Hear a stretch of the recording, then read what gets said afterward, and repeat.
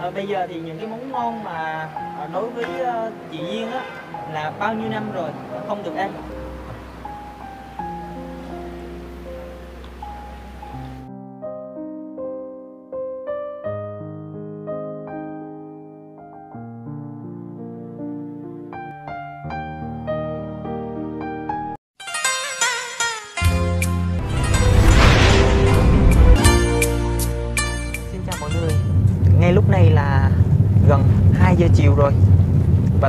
Đi di chuyển từ cửa khẩu Mộc Bài về đây khoảng ờ, đã hết uh, nửa quãng đường. Ờ, tầm khoảng 2 tiếng đồng hồ nữa thì đến uh, quê hương Long Xuyên, An Giang, quê hương của chị uh, Duyên. Và mọi người có thể thấy là chị Duyên đang ngủ rất là say. Anh Hồ quay cho mọi người xem đi. Và từ sáng đến giờ thì chị khá là mệt Đêm qua là mất ngủ luôn. Và bây giờ chắc có lẽ mấy anh em sẽ ghé vào một cái quán cơm. Và mình sẽ gọi những cái món quê hương mà chị đã từng thưởng thức lúc mà còn nhỏ khi nãy chị khi nãy chị có chia sẻ với mình á lúc mà bà ngoại còn sống á thì bà ngoại hay ờ, nấu món canh chua với cá chiên. Thì bây giờ thì mình sẽ vào một quán cơm dọc đường đi ha để ờ, thưởng thức. Mình sẽ gọi chị dậy ha. Chị duyên ơi! Quay phim cận cận xíu anh. Chị duyên ơi! Chị Duyên, chị ơi! Chị Duyên ơi! Chị ngủ quá say à. Thức dậy ăn cơm chị ơi chị ơi. Chị thức rồi. À, đỡ mệt chưa? Đỡ mệt chưa? Chị uống tí nước đi cho khỏe. Rồi, tới quán cơm rồi ha. Ờ, Còn khoảng 2 tiếng đồng hồ nữa là tới nha chị á. Chắc giờ này chị không biết chỗ này là chỗ nào đâu. Chị biết ở đây là đâu không?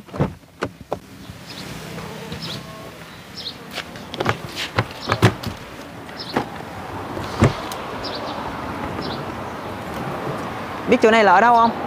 Không hả?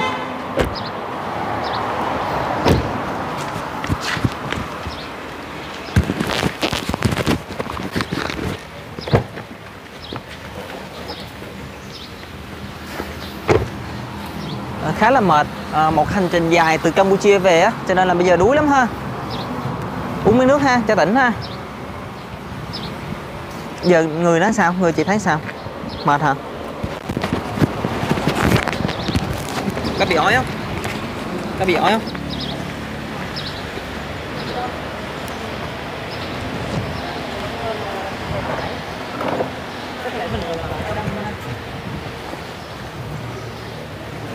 Qua đây đi Chị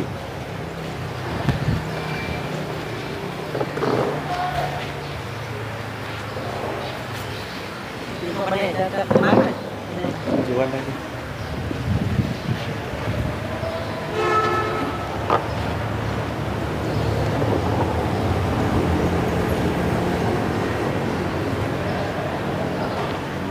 Chị tháo khẩu trang ra cho nó khỏe chị Hôm mới ngủ dậy thì à, thấy sao? Th th tinh thần vẫn còn toàn hồn vậy à? Bây giờ là chị lo gì nhé Đúng rồi ha. Hôm nay à, quán mình có cơm gì à, cô? Canh chua cá lóc cá hú. Cá lóc ha. Cá, cá, cá chua cá lóc. Có cá chiên gì không? có cá muối chiên Cá gì chiên cá phi ít thừa cá hồng Có hồng. cá biển chiên không? cá gì. Có cá biển không? không không có cá biển Thôi cho em một món cá chiên đi. cá chiên đi ha À. Rồi rồi à, canh chua cá lóc cá chiên rồi món kho. món kho là cá lóc kho cá hú kho gà vịt thịt Chị Duyên thịt kho nè Ừ, rồi ok. Cho mấy chai chai nước luôn ha. uống cái gì cơ? Lấy luôn. Nước suối à? Nước suối. dạ. À, hôm nãy chị có tâm sự với ờ, em á là chị thích ăn món ờ, canh chua ha. Bây giờ thì bao nhiêu năm rồi chị chưa dùng canh chua? Ăn có ăn canh chua nhưng mà ăn cái canh chua nấu không lâu ngon nào ừ, có ăn nhưng mà ăn campuchia chưa ăn thử ờ, khẩu vị việt nam hồi nãy ờ, em ờ, em nhầm tính như nè. Hồi nãy chị chia sẻ là lúc 6 lớp 6 là chị đi sang campuchia đúng không? Thì bây giờ là chị đã 34 tuổi rồi.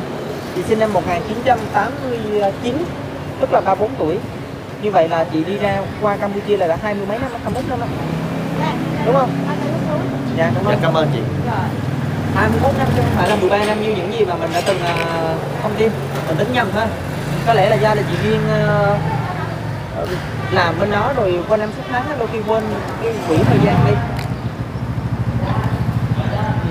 Bây giờ để cho chị đi vệ sinh nghỉ ngơi rửa mặt cho tỉnh táo rồi thưởng thức cơm. Chị đi vệ sinh ha.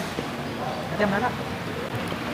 Ờ, bây giờ thì những cái món ngon mà ờ, đối với ờ, chị Duyên á là bao nhiêu năm rồi không được ăn? À, mình lúc đầu mình tính ra là chỉ có 13 năm là lưu lạc bên Campuchia thôi. Nhưng mà thực tế thì phải 20 năm. Tại vì lúc chị đi lớp 6 tức là 13 tuổi bây giờ chị 34 tuổi rồi. Chị mới đi vệ sinh lại và cũng là người đã sốc lại tinh thần rồi. Tại vì đêm qua giờ rất là mệt. Hôm nay thì đây là bữa cơm trưa của ba anh em mình mình anh Bùi Hồ và chị Duyên. Tối nay được ăn cơm với mẹ rồi. Sớm đang chờ chị dữ lắm nha. À, chị có chia sẻ rằng là chị ở bên đó lâu lâu chị cũng được ăn món canh chua nhưng mà nó sẽ khác với lại canh chua của Việt Nam mình tại vì à, cái món canh chua này ngày xưa thì mẹ của chị á thường hay à, nấu cho chị ăn. Chị thấy canh chua này sao chị Duyên? Giống ngoại nấu không? Còn lấy cái giá. Chén cơm của chị kìa bây giờ chị em mình thưởng thức ha. Đây đây phần của anh Hồ cả anh một tô riêng. Đây cho mọi người nè. Đây là thịt kho ba gọi kho á. Ở đây là canh chua cá lóc ha. Còn bên kia là cá chiên cái món mà ngày xưa là chị thường thích ăn ngoại mình nấu á. Rồi mời chị ha mời phong ha. Lấy cá chiên cho chị nha. Cá chiên ăn với mắm mặn nè. Cái đuôi đi cho dễ. Ít xương. Hai tiếng nữa à? Về tới nhà rồi. Dĩ nhiên cứa luôn đi Ngon bông nhân điển nè anh Hồng giới thiệu cho bà con anh. Đây là bông điên điển à, với lại um, rau muống bạc hà và giá. Canh chua miền tây là vậy á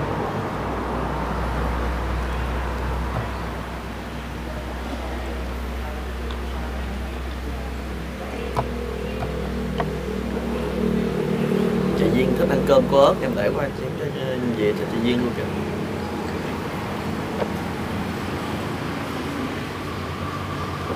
Cảm giác lúc- này sao chị duyên? Nhiều vui hả? Ăn ăn cho ăn tự nhiên đi.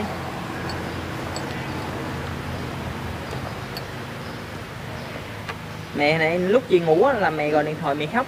Mẹ nói là mẹ hồi hộp chờ con. Còn hiện giờ anh hồ thấy sao nói chung là ngậm ngùi lắm. Tại vì lần đầu tiên cái chị Duyên ờ, ăn được cái món mình thích ngay tại cái ờ, quê hương mà. Thậm chí anh em mình cứ đi xa xa cũng nhớ cái vị của quê nhà ha. Đi đâu mà xa lâu ngày tự nhiên nhớ cái món canh chua lắm.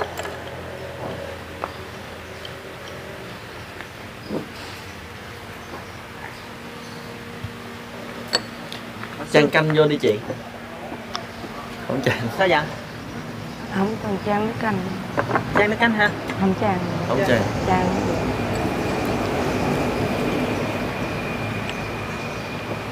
bên đó là chị thường ăn cơm với gì? Con cơm với cà xôi ngọt chiên. Anh anh hồ nhớ không? cái hôm mà em cho chị 20 đô la Mỹ á để chị mua đồ ăn á chiên khổ qua vì cần có ăn thêm rau cho nó mát người. Vậy là thích ăn rau à?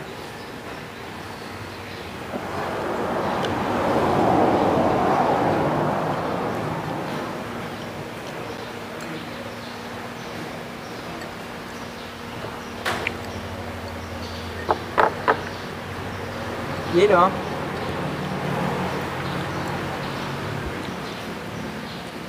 Quả rác ở dưới. Dạ. đây xương à? Đó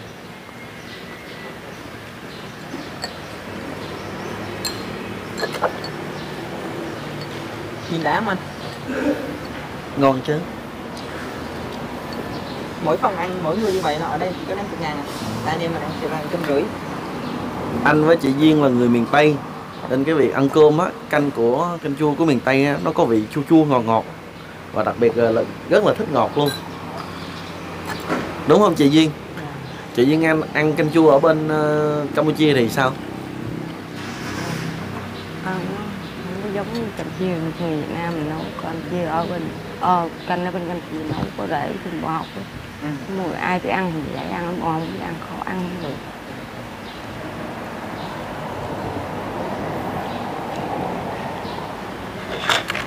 Mai em dẫn chị ăn ờ, cơm tấm Long Xuyên nha. Hồi nhỏ chị ăn cơm tấm Long Xuyên nhiều không? Chưa được ăn hả? Không nhớ. Một cái loại món ăn đặc trưng của Long Xuyên đó, đó là cơm tấm. Thì gần như là nổi tiếng luôn. Ngoài cơm tấm Sài Gòn ra thì có một cơm tấm đó là Long Xuyên thì ờ, chắc ngày mai mình sẽ dẫn chị Duyên đi ăn cho biết ha. Dù sao lúc đó thì chị đi cũng là một cái cô bé thôi mà mới có 13 tuổi mà. Ngon quá. Chua nè chị Duyên bữa nay phải ăn 4 năm chén ăn cho nhiều vô nha.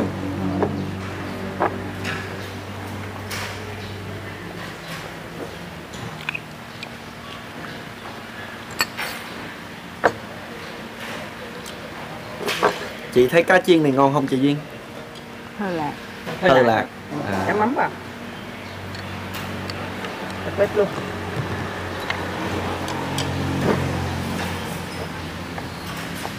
ở bên đó thì cái ngày mà chị ăn cơm ngon nhất là chị ăn cơm với gì hay chị Duyên?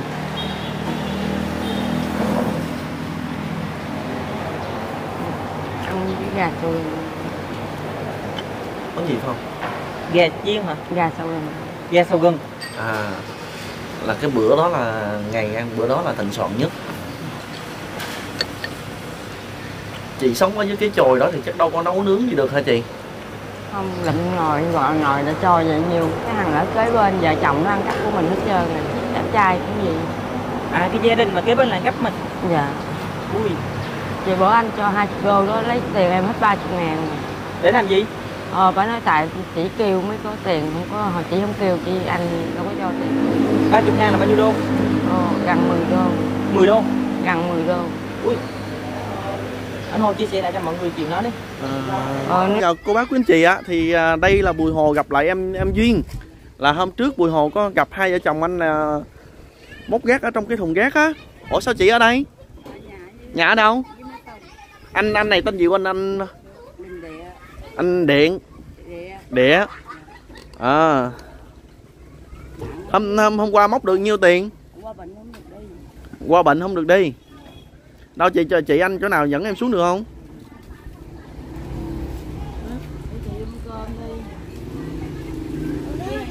À, đây là một cái khu ổ chuột của à, thủ đô Bình Đông bên đất nước Campuchia cô bác quý chị. Đây là cái em duyên nè. Anh, anh ơi. Đây đây đây. Hả? Sáng giờ có tiền không? Ừ? Sáng sáng giờ có móc được tiền không? Lâu rồi trời Giờ mua Mỹ ăn luôn rồi Ờ, mua Mỹ ăn luôn rồi có ăn không? Lấy đây em em có gì em Nói đi, đi, nói, đi Dạ thôi thôi. Dạ dạ.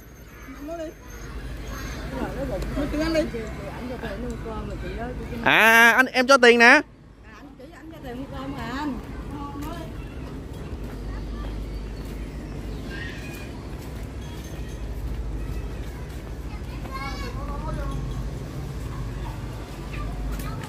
đi, đi đâu, đi đâu, ăn đi em nói chuyện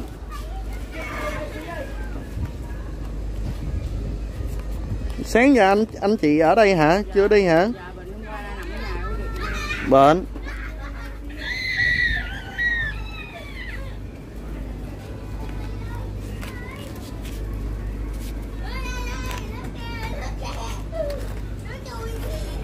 Là là mua mua cơm bao nhiêu tiền?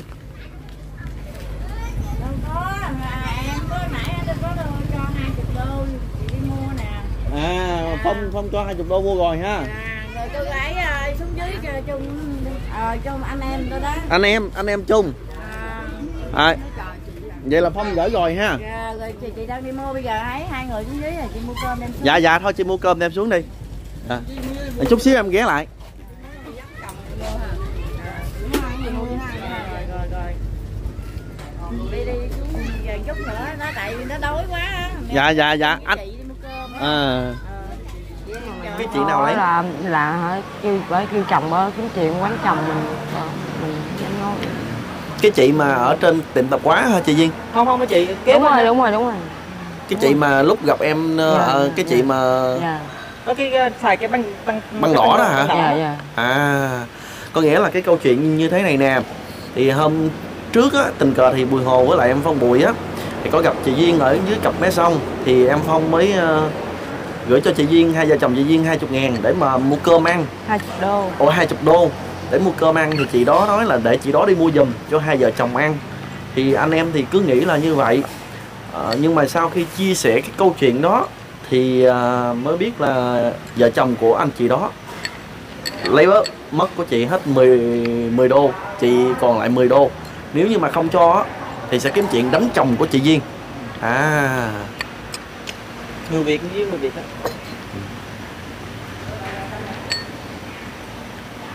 chị đó là quê ở đâu hả chị Duyên? Không biết. Không biết luôn. Cũng là người Việt luôn hả?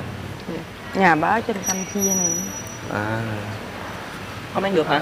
Không phải để cái đó cho nó mặn mặn vậy thêm cơm nha. Ăn bốn chén nha. Hai chén thôi ba chén rưỡi thôi. Mình ờ, đơn không có đầy ăn cái thịt kho nè. Đêm qua chị ờ, thức cả đêm nên thành nữ sáng nay mất sức á. Chị này kêu vậy là chưa chưa có tinh thần chưa có tỉnh. Ừ. nóng quá. Không biết tắt bếp làm sao luôn. Dưới ha em bớt cồn nha. Không được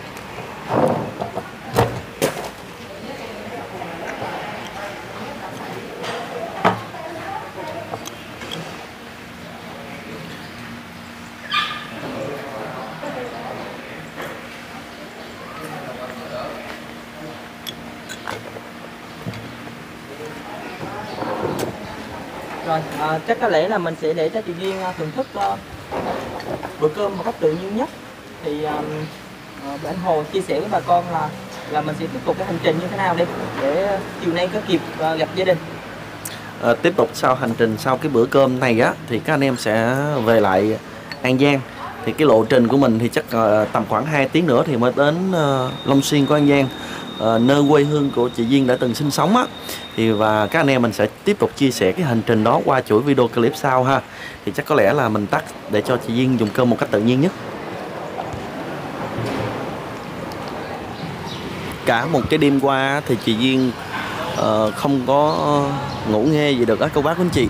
Và ăn cơm xong thì chị cũng đã nghỉ ngơi. Và giờ các anh em sẽ tiếp tục cái hành trình trở về lại An Giang.